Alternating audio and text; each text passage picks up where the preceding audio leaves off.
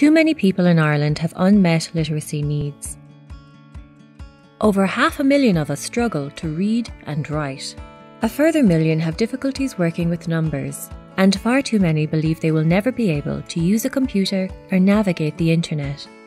School was just alienated to me. I just couldn't take to it. I left school at the age of 13. I left school at 14.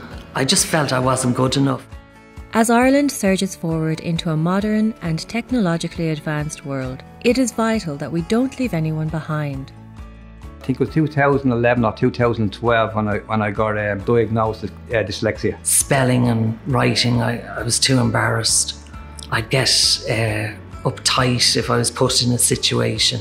The 10 year Adult Literacy for Life campaign will aim to remove barriers for those with unmet literacy needs and improve awareness of the learning opportunities available to them.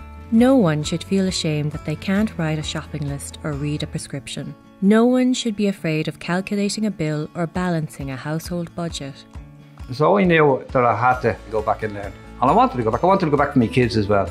I rang up and I met this lovely lady, Shirley. She encouraged me to go into a class, just a small class, and I did. I think it just makes me feel good about myself that I got it. Everyone should be able to access public services on the internet. Literacy gives people the confidence to engage with a rapidly changing world. Literacy empowers people to be their best possible selves.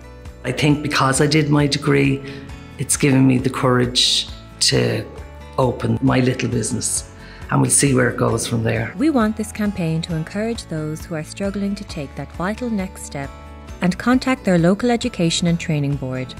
There is an adult education service uh, based in every county and since the uh, publication of the white paper on adult education in 2000, funding was made, made available for each adult education service to have their own adult guidance and information service. Probably the hardest thing is walking probably up the steps. Definitely, yeah, it is hard. It is, it's, it's making the fourth step. Phone 1 800 20 20 65 or visit adultliteracyforlife.ie. The Adult Literacy for Life campaign wants to create a more inclusive and equitable Irish society. Help us ensure no one is left behind.